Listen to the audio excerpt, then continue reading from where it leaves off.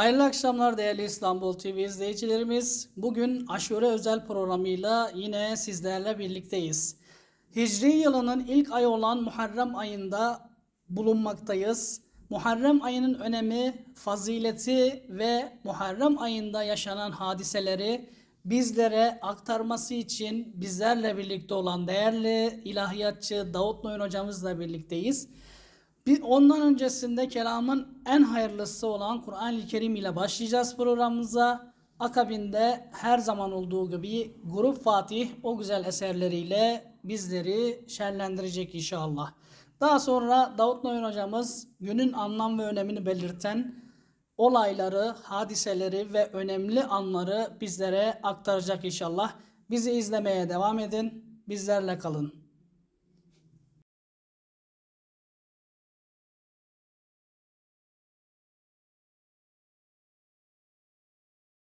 أعوذ بالله من الشيطان الرجيم.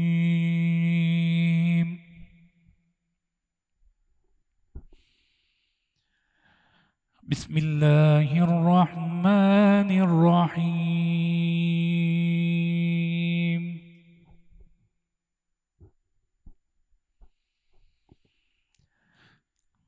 آمن الرسول بما أنزل إليه من ربه والمؤمنون.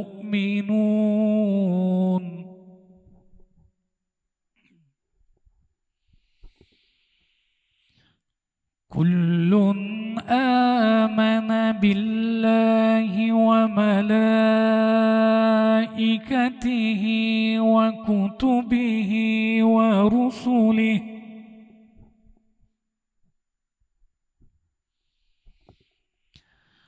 لا نفرق بين أحد من رسله.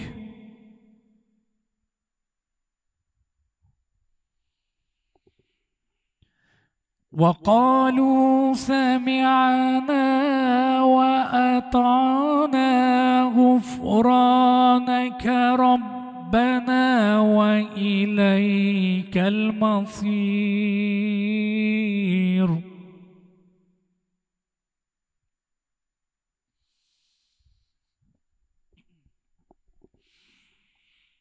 لا يكلف الله نفسا إلا وسعها لها ما كسبت وعليها ما اكتسبت.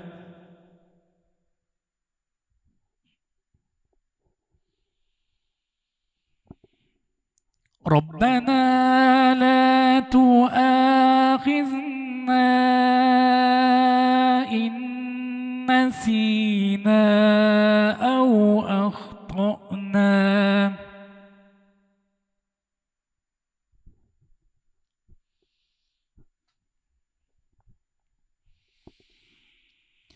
ربنا ولا تحمل علينا إسرا كما حملته على الذين من قبلنا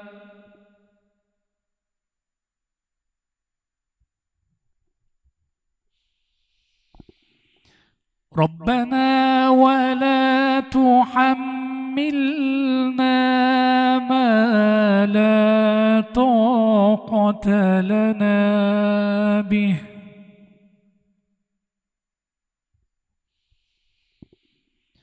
واعف عنا واغفر لنا وارحمنا.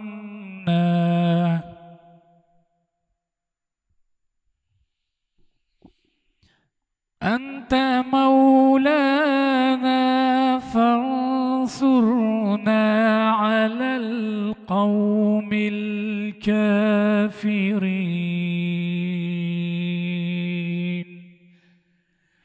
صدق الله العظيم.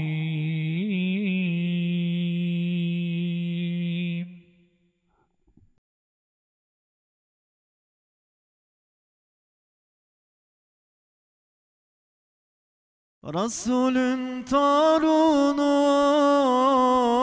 علينا الله Kerbela şehidi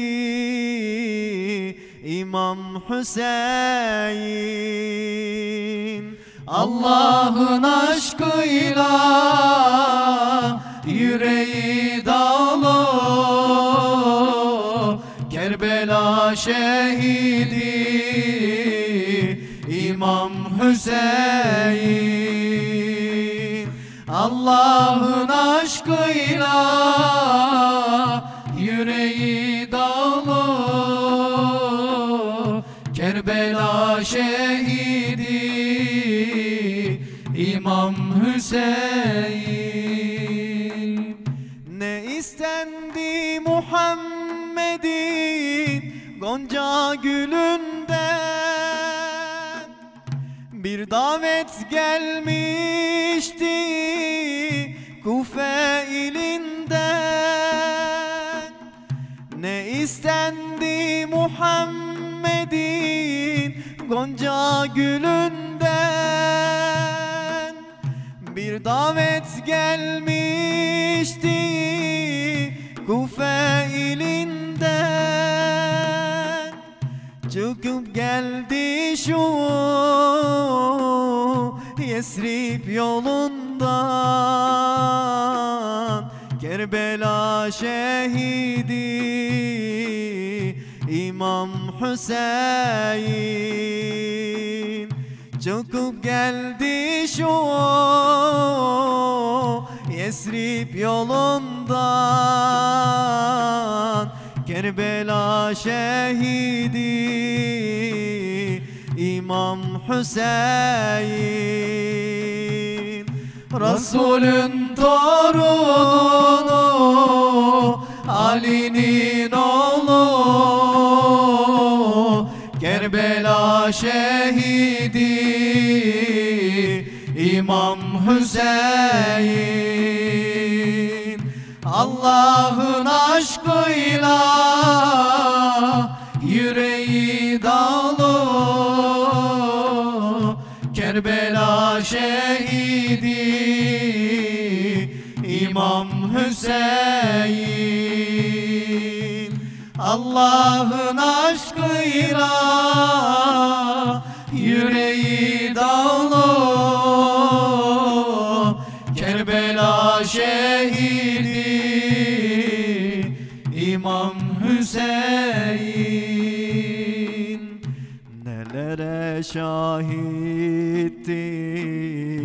Kerbela çölü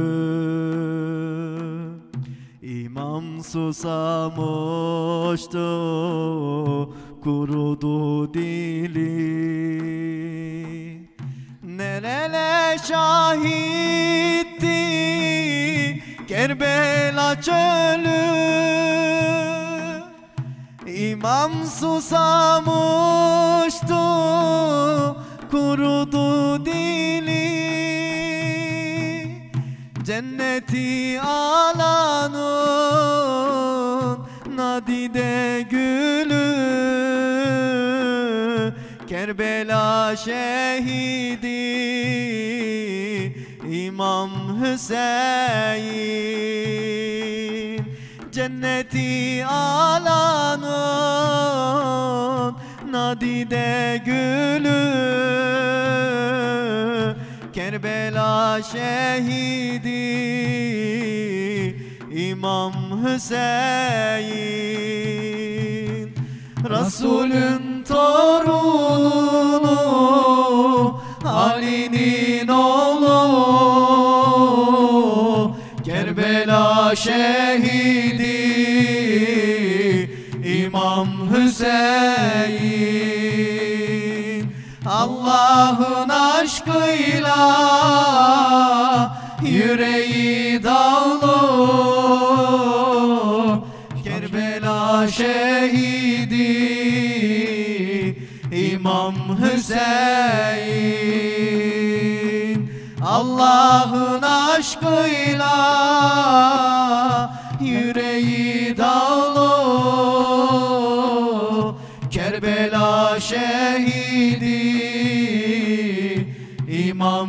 Hüseyin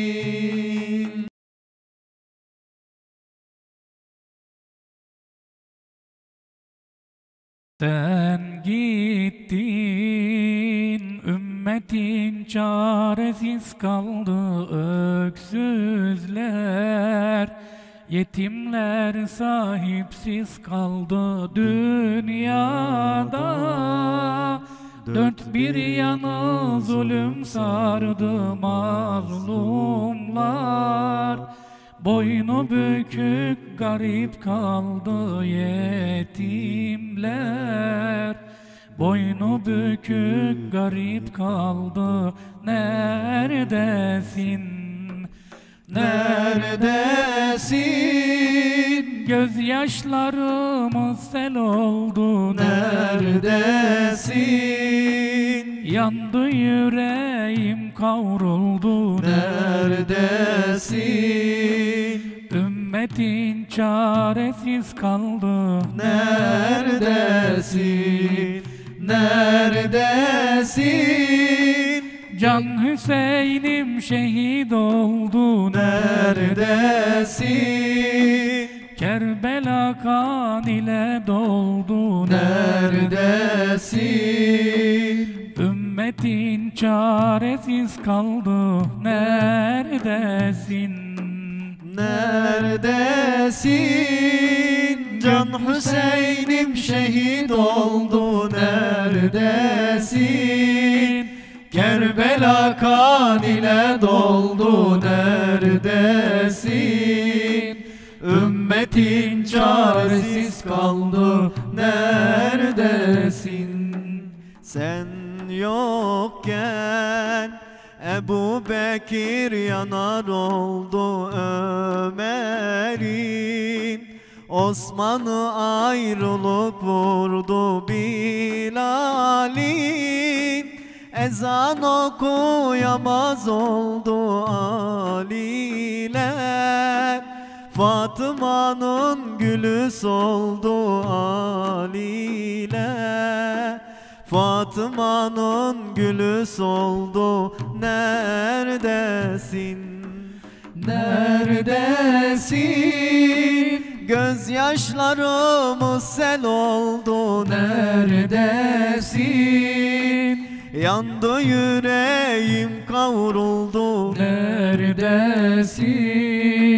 Ümmetin çaresiz kaldı Neredesin?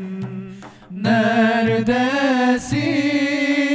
Can Hüseyin'im şehit oldu Neredesin?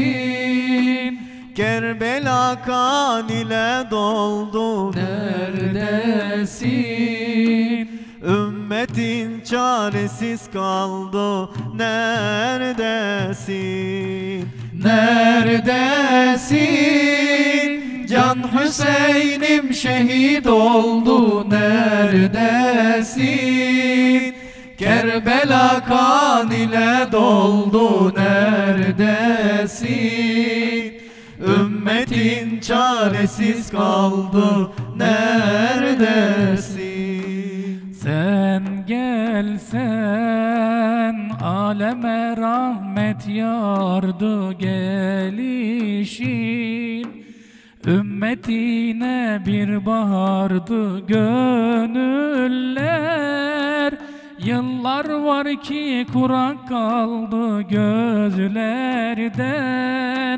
Feda tepesinde kaldı gözlerde Veda tepesinde kaldı Neredesin?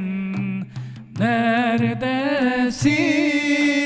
Gözyaşlarımız sel oldu Neredesin? Yandı yüreğim kavruldu Neredesin? Ümmetin çaresiz kaldı Neredesin? Neredesin? Can Hüseyin'im şehit oldu Neredesin? Kerbela kan ile doldu Neredesin? Ümmet Ümmetin çaresiz kaldı neredesin? Neredesin Can Hüseyin'im şehit oldu neredesin? Kerbela kan ile doldu neredesin? Ümmetin çaresiz kaldı neredesin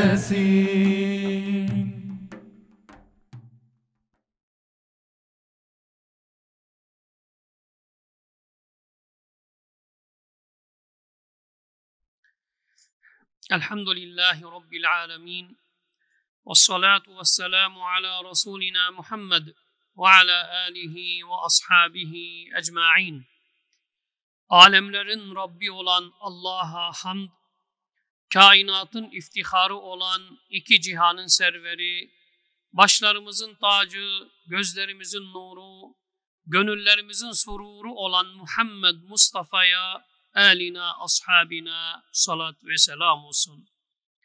Aziz ve değerli sevgili din kardeşlerim, sevgili İstanbul TV izleyicileri, öncelikle hepinizin Aşure gününü tebrik eder. Aşure gününün bizlere, çoluk çocuğumuza, memleketimize ve tüm İslam alemine hayırlara vesile olmasını Yüce Rabbimden niyaz ederim.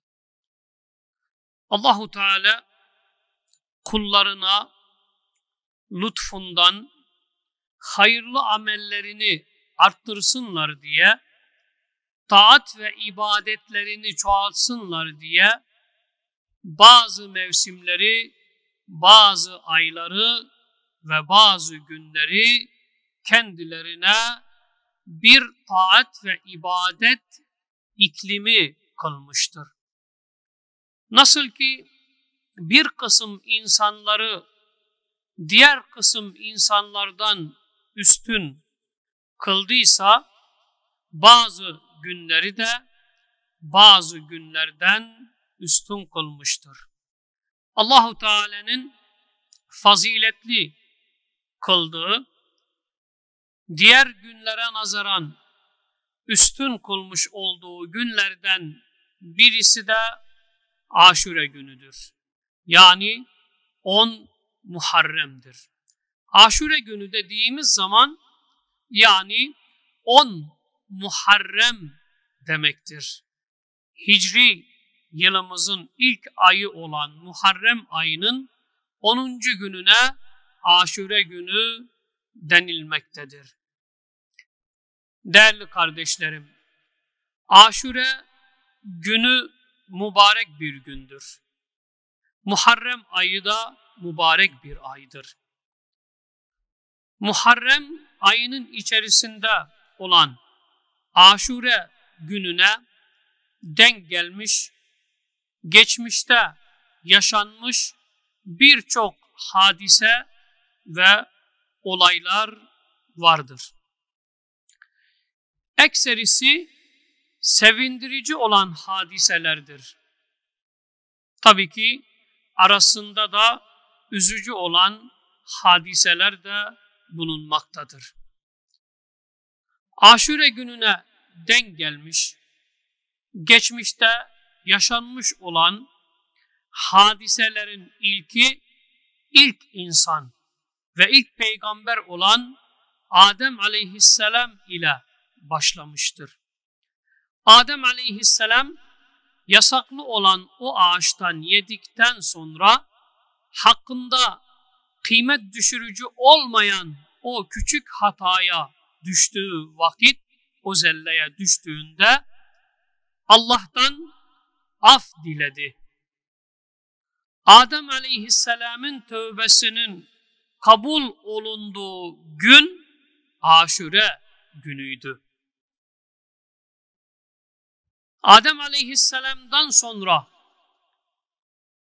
gelen peygamberlerden birisi de ve peygamberler arasında şununla meşhur olan bir peygamber kafir kavme, müşrik olan kavme gönderilen ilk peygamber. O da Nuh aleyhisselamdır. Nuh aleyhisselam müşriklere gönderilen ilk peygamberdir. Nuh aleyhisselam birinci cahiliyet döneminde gönderilmiştir. Nuh aleyhisselam Kur'an-ı Kerim'de bildirildiği üzere kavmini tam 950 sene boyunca tevhide, Allah'ı birlemeye, Allah'a ibadet etmeye, Allah'ı tenzih etmeye davet etmiştir. 950 sene boyunca kendisine iman edenlerin sayısı 80 olmuştur. Nuh aleyhisselame vahiy ile bildirildi. Artık bunların dışında sana iman edecek kimse olmayacaktır. Ve Nuh aleyhisselam gemisini inşa etti. Gemisini inşa ettikten sonra tabii tufan oluştu. Nuh aleyhisselam kendisine iman etmiş olan Müslümanları gemiye bindirdi ve o gemi tufanın içerisinde Allah'ın inayeti altında, koruması altında seyreyledi. Nuh aleyhisselam ve beraberindeki Müslümanların o tufandan kurtulmuş olduğu gün aşure günüydü. Yani 10 Muharrem'e denk gelmiştir. Aynı şekilde İbrahim aleyhisselam putperest bir kavim içerisinde doğmuştur. İbrahim aleyhisselam küçüklüğünden beri kendisinde tevhid inancı vardı. Bütün peygamberlerde olduğu gibi. Çünkü bütün peygamberler doğuştan ölünceye dek kalplerinde tevhid inancı vardır, bulunmaktadır.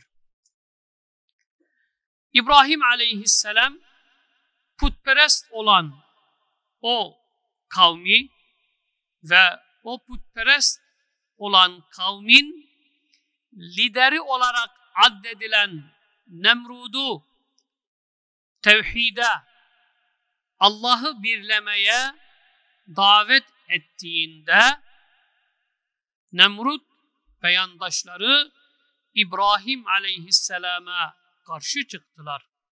Ve İbrahim aleyhisselamı yakmak istediler. Büyük bir ateş yaktılar ve İbrahim aleyhisselamı o ateşin içerisine attılar. İbrahim aleyhisselam günlerce o ateşin içerisinde, selamet içerisinde kalmıştır. O ateş İbrahim aleyhisselamın ne vücuduna ne de kıllarına zarar vermiştir. O ateş sadece İbrahim aleyhisselamın ellerinin ve ayaklarının bağlı olduğu ipleri yakmıştır. İbrahim aleyhisselam o ateşin içerisinden selametle çıkmıştır. İbrahim aleyhisselamın selametle o ateşin içerisinden çıktığı gün aşure günüydü. Aynı şekilde Yunus aleyhisselam kavmiyle çok uğraştı. Onları imana, İslam'a davet etmiştir. Yunus aleyhisselam da kavmini terk ettikten sonra ve Yunus aleyhisselamın gemiden suyun içerisine atlaması, balinanın Yunus aleyhisselamı yutması ve o balinanın karnında kalması Yunus aleyhisselam üç karanlıkta kalmıştır. Gecenin karanlığı ve denizin dibindeki karanlık bir de balinanın karnındaki karanlık. Yunus aleyhisselamın balinanın karnından selametle kurtulup çıktığı gün aşure günüydü. Yine aynı şekilde Musa aleyhisselam Firavun'a ve Firavun'un kavmine gönderilmiştir. Musa aleyhisselam Firavun'u ve Firavun'un yandaşlarını Allah'ı birlemeye, tevhid etmeye, Allah'a ibadet etmeye davet etmiştir. Ve e, Firavun'u şirki bırakmasını bir olan Allah'a ibadet etmesini istemiştir. Çünkü Firavun haddi aşmıştı. Hatta uluhiyeti iddia ediyordu. Kendisinin ilah olduğunu söylüyordu. Musa aleyhisselam uluhiyeti iddia eden Firavun'u eşi, şeriki, ortağı, benzeri olmayan Allah'a iman etmeye, Allah'a ibadet etmeye ve kendisinin de Allah'ın Resulü olduğunu kabul etmeye davet etmiştir. Ancak Firavun Musa aleyhisselama karşı çıktı. Musa aleyhisselam bunun üzerine Beni İsrail oğullarını alıp Mısır'ı terk etmiştir. Filistin'e doğru yola çıkmıştır. Musa aleyhisselam yanına almış olduğu Beni İsrail oğulları sayısı kaçtı? 600 bin. Firavun duyunca onları yakalamak için büyük bir ordu hazırlamıştır. Firavun'un hazırlamış olduğu ordunun sayısı ise 1 milyon 600 bin kişiydi. Musa aleyhisselamın peşine düştüler. Musa aleyhisselam ve Beni İsrail oğulları denizin kenarına gelmişlerdi. Firavun ve orduları da onların arkasından onlara yetişmek üzere idi. Arkalarından gelmişlerdi. Allah Musa aleyhisselame vahyetti. Elindeki asayı denize vur diye. Musa aleyhisselam elindeki asayı denize vurmasıyla denizdeki sular dağ misali havada donup kalmıştır. Ve onlara denizde 12 yol açılmıştır. Musa aleyhisselam ve beraberindeki Beni İsrail oğulları açılan 12 yoldan karşıya, karaya çıkmışlardır. Firavun ve orduları onların peşinden denize açılan o yollardan girdiklerinde Allah Musa aleyhisselame vahiy ile bildirdi. Tekrar asanı denize vur. Musa aleyhisselam tekrar asasını denize vurunca dağ misali havada donmuş olan sular çözüldü ve onların üzerine kapandı. Firavun ve orduları denizde boğuldu. Firavun ve orduları o müşriklerin boğulup Musa aleyhisselam ile Beni İsrail oğullarının selamet içerisinde olduğu gün, denizi aşıp karaya vardıkları gün aşure günüydü. Yani 10 Muharrem'e denk gelmiştir. Aynı şekilde Eyyub aleyhisselam Eyyub aleyhisselam 18 yıl boyunca hasta kaldı. Ancak kesinlikle bazılarının iftira ettiği gibi vücudu yara bere içerisinde olmamıştır. Vücud, vücudundaki yaralardan kurtlar dökülmemiştir. Dökülen kurtları alıp tekrar vücuduna katıp ye rızkından ey mübarek dememiştir. Bu Yahudilerin desisesidir. Kesinlikle batıldır, doğru değildir. Eyüp aleyhisselamın hastalığının ne tür bir hastalık olduğu ne Kur'an-ı Kerim'in ayetlerinde ne de hadislerde zikredilmemiştir.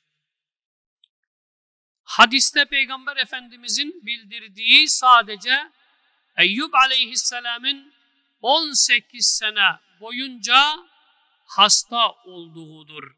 Ama şunu biliyoruz ki peygamberler peygamberlikten önce ve peygamberlikten sonra tiskindirici, nefret ettirici, insanları kendilerinden uzaklaştırıcı türden olan hastalıklara yakalanmaktan korunmuşlardır. Peygamberler vefat ettikten sonra vücutları kurtlanmıyor. Hayattayken vücutları nasıl kurtlanmış olacaktır? Peygamber Efendimiz hadisinde bildirmiştir. Toprak peygamberlerin vücudunu yemez. Peygamberlerin vücuduna kurt düşmez. Peygamberler vefat ettikten sonra kabirlerinde diridirler, namaz kılmaktadırlar diye Peygamber Efendimiz sallallahu aleyhi ve sellem hadisinde bildirmiştir. Eyüp aleyhisselam da 18 sene boyunca hasta kaldı ve hatta yürüyecek bir vaziyette değildi ama yara bere içerisinde olmamıştır, vücudu kurtlanmamıştır. 18 sene sonra Eyyub aleyhisselam Allah'a dua etmesiyle o hastalıktan kurtulmuştur, şifa bulmuştur. Eyyub aleyhisselamın şifa bulduğu gün aşure günüydü. Yani 10 Muharrem'e denk gelmiştir. Eyyub aleyhisselamın şifası. Müslümanlarda önemi, ehemmiyeti büyük olan savaşlardan birisi Zatur Rika gazvesi olarak bilinen gazve 10 Muharrem'e denk gelmişti. Yani aşure gününe denk gelmiştir. 10 Muharrem'e denk gelmiş. Yaşanmış birçok hadise ve olaylar bulunmaktadır. Ekserisi sevindiricidir. Müslümanların lehine olandır. Ama sohbetimizin başında ifade ettiğimiz gibi aşure gününe denk gelmiş ve aşure gününde yaşanmış üzücü hadiseler de vardır. İşte Peygamber Efendimiz sallallahu aleyhi ve sellemin göz bebeği, Peygamber Efendimiz sallallahu aleyhi ve sellemin reyhan çiçeği, Peygamber Efendimiz sallallahu aleyhi ve sellemin biricik torunu İmam Ali'nin ve Fatıma Zehra'nın evladı İmam Hüseyin'in Kerbela'da şehit edilmesi hadisesi Bu hadise üzücü bir hadisedir. Müslümanların yüreğinde kanayan bir yaradır. Zalimler tarafından Resulullah sallallahu aleyhi ve sellemin torunu İmam Ali'nin ve Fatimatu Zehra'nın evladı olan İmam Hüseyin hunharca katledilmiştir. Şehit edilmiştir. Mübarek başını gövdesinden ayırmışlardır. Mübarek vücuduna mızraklar, kılıçlar ve oklar saplanmıştır. Mübarek vücudu parçalanmıştır. İmam Hüseyin'i susuz bırakmışlardır ve onunla birlikte bulunan ehli beytten olan bir sürü çocuk, bir sürü kadın katledilmiştir. Susuz bırakılmıştır. Hatta kundaktaki bebeği bile hunkarca öldürmüşlerdir. Bu hadise Aşure gününde yaşanmış bir hadisedir. Müslümanları derinden üzen, Müslümanların gönlünde derin bir yara açan bir hadisedir. Sürekli kanayan, kapanmayan bir yaradır.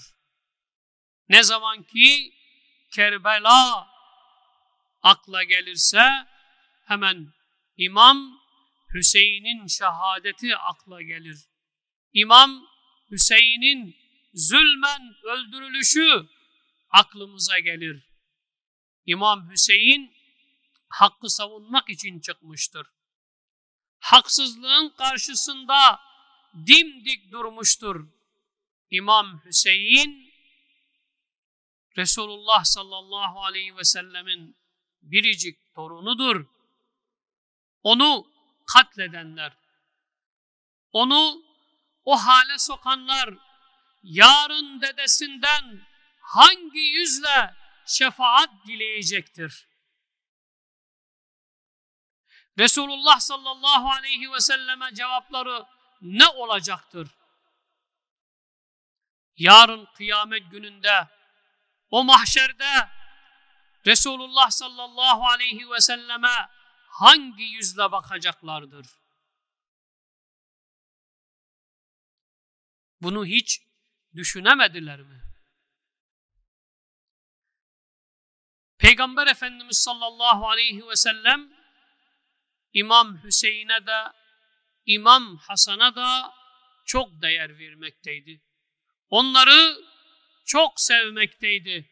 Peygamber Efendimiz sallallahu aleyhi ve sellem onları o kadar seviyordu ki hatta Allah Resulü sallallahu aleyhi ve sellem şöyle derdi.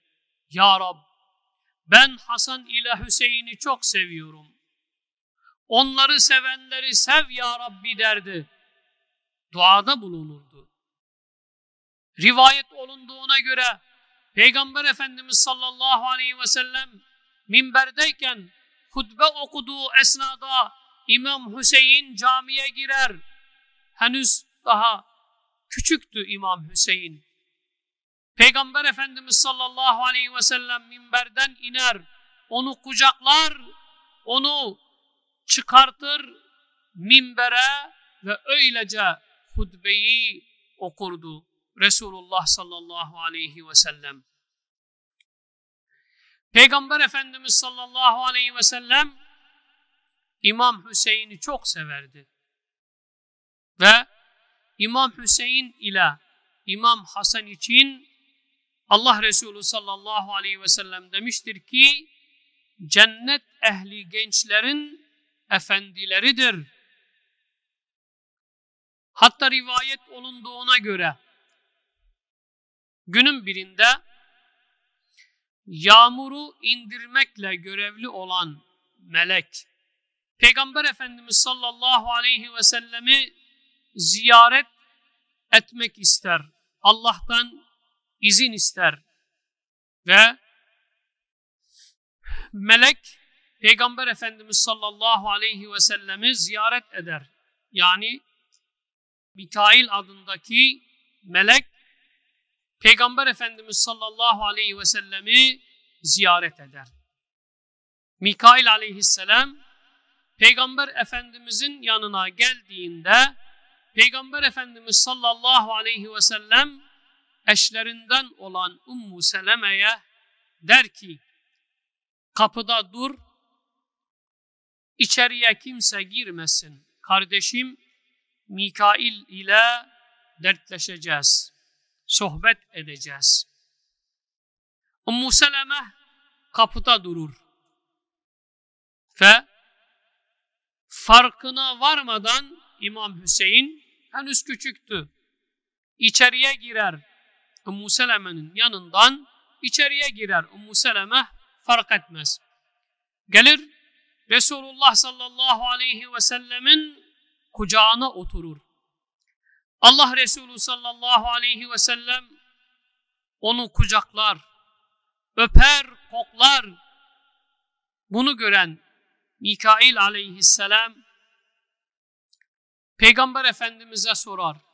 Ey Allah'ın Resulü onu çok mu seviyorsun? Peygamber Efendimiz sallallahu aleyhi ve sellem ona cevaben elbette onu çok seviyorum demiştir. Mikail aleyhisselam Peygamber Efendimiz'e cevaben şöyle der. Ancak senin ümmetin onu katledecektir.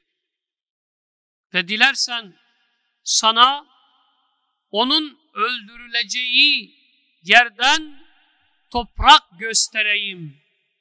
Mikail aleyhisselam elini uzatır, Kerbela'dan bir avuç toprak getirir. Kan kırmızı renginde bir toprak. İşte bu toprak İmam Hüseyin'in katledileceği edileceği yerin toprağıdır. Kerbela'nın toprağıdır der. Peygamber Efendimiz sallallahu aleyhi ve sellem onu alır, Ummu Seleme'ye verir. Ummu Seleme o toprağı bir bez parçası içerisinde saklar. İşte o Kerbela'da, Kerbubela olan o yerde İmam Hüseyin şehit edilmiştir. İşte bu hadise Aşure gününde yaşanmıştır. Aşure gününe denk gelmiştir. Bu hadise üzücü olan hadisedir. Ama daha önceki sıraladığımız, zikretmiş olduğumuz 10 Muharrem'e denk gelmiş, yaşanmış olan o hadiseler Müslümanların lehine olan hadiselerdi, sevindirici olan hadiselerdi. Ama bu üzücü olan hadise İmam Hüseyin'in katledildiği, Kerbela'da şehit edildiği hadise üzücü olan hadiselerdendir. Evet, değerli kardeşlerim, Aşure günü yani 10 Muharrem mübarek bir gündür. 10 Muharrem'de oruç tutmak sünnettir. Peygamber Efendimizin hadisinde bildirdiği üzere Allah Resulü sallallahu aleyhi ve sellem der ki işte bugün aşure günüdür yani 10 Muharrem'dir. Allah bugün de oruç tutmayı size farz kılmış değildir. Dileyeniniz oruç tutar, dileyeniniz de tutmaz. Başka bir rivayete göre ise Peygamber Efendimiz sallallahu aleyhi ve sellem hicretten sonra Medine'deki Yahudilerin Aşure gününde oruç tuttuklarına şahit oldu. Onlara sordu. Neden 10 Muharrem'de oruç tutuyorsunuz? Yahudiler dediler ki işte bugün aşure günüdür. Musa aleyhisselamın Firavundan kurtulduğu gündür. Musa aleyhisselam bu günü şükür babından oruçlu geçirirdi. Biz de onun için oruç tutarız. Peygamber Efendimiz sallallahu aleyhi ve sellem bunu duyunca dedi ki Musa'ya tabi olmak bizim için önceliklidir. Yani Musa'yı takip edecek olan birileri varsa biziz. Çünkü Musa'ya tabi olan, Musa'ya iman eden beni de kabul eder. Ama beni kabul etmeyen Musa'yı da kabul etmiş sayılmaz. Müslüman olan kimsenin yapmış olduğu taat ve ibadetleri kabul olur. Müslüman olmayan kimsenin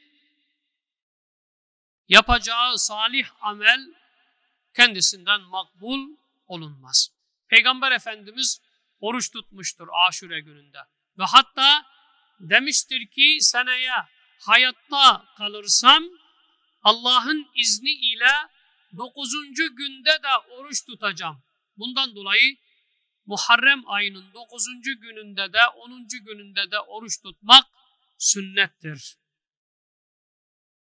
Oruç tutmak isteyen kimseler 10 Muharrem'de ve 9 Muharrem'de oruç tutar. Sevabı çoktur. Ramazan orucundan sonra en faziletli oruçlardan birisi de Muharrem ayında 10 Muharrem'de tutulan oruçtur. Allahu Teala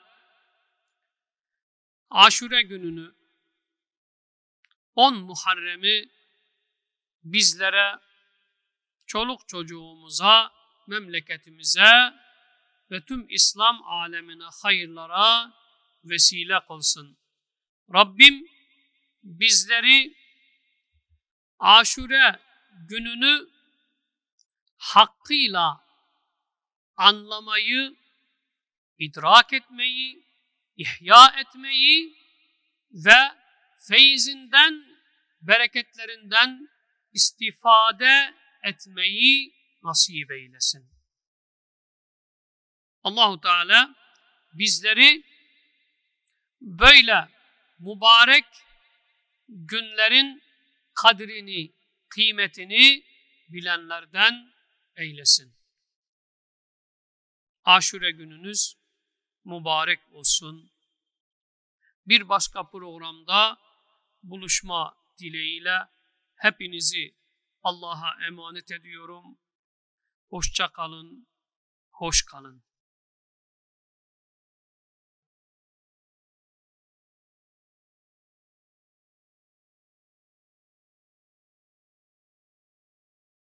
İmam Hüseyin'i vurdular, kolun kanadın kırdılar.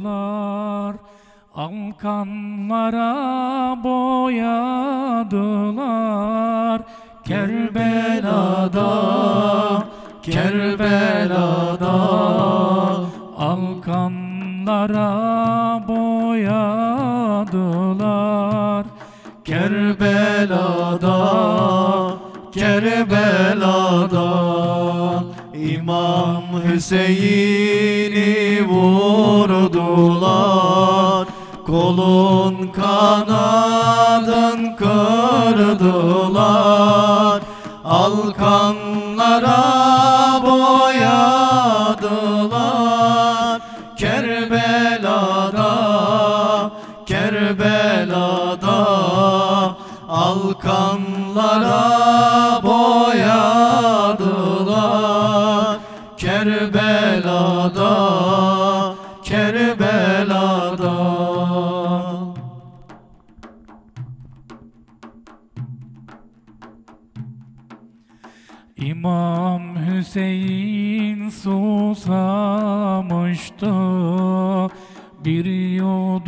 su aramıştır. Ana yüreği yanmıştı Kerbela'da Kerbela'da. Ana yüreği yanmıştı Kerbela'da Kerbela'da Hüseyin susamıştı Bir yudum su aramıştı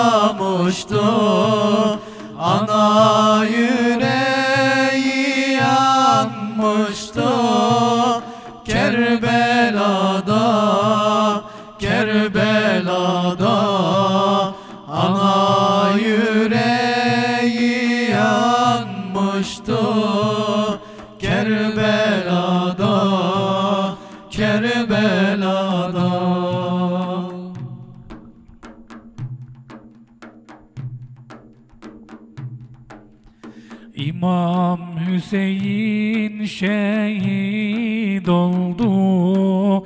Gül bahçemde güller soldu. Topraklar kan ile doldu. Kerbela'da Kerbela'da Topraklar kan ile doldu Kerbela'da Kerbela'da İmam Hüseyin şehit oldu. Gül bahçemde güller soldu. Topraklar kan ile doldu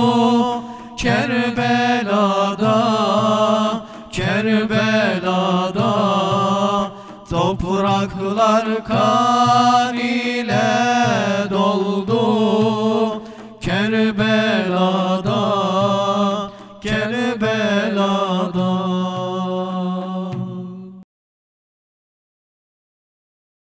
Resulümün günleri İmam Hasan Can Hüseyin Resulümün günleri İmam Hasan Can Hüseyin. Onlar peygamberimin iki reyhan çiçekleri oy. Onlar peygamberimin iki reyhan çiçekleri oy. Can Hüseyin, Can Hasan'ı şehit ettiler onları Can Hüseyin, Can Hasan'ı şehit ettiler onları Zeynep'in feryadı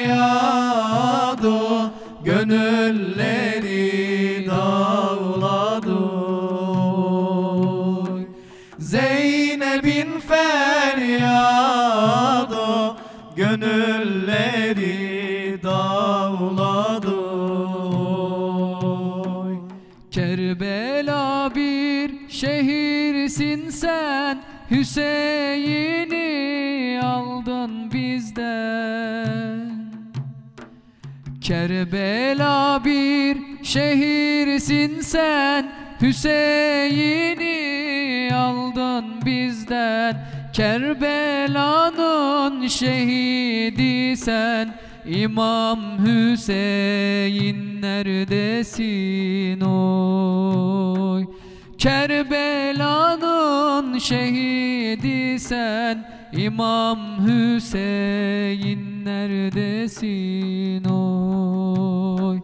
Can Hüseyin, Can Hasan'ı şehit ettiler onları Can Hüseyin Can Hasan'ı Şehit ettiler onları Zeynep'in feryadı Gönülleri dağladı. Zeynep'in feryadı Gönülleri dağladı.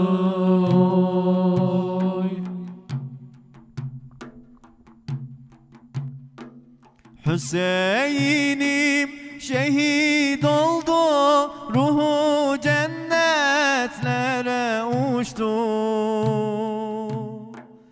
Hüseyin'im şehit oldu Ruhu cennetlere uçtu.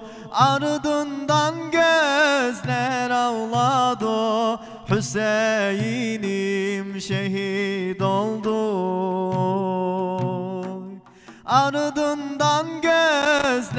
ağladı Hüseyin'im şehit oldu. Can Hüseyin, Can Hasan'ı şehit ettiler onları Can Hüseyin, Can Hasan'ı şehit ettiler onları Zeynep'in feryadı Gönülleri dağladı. Zeynep'in feryadı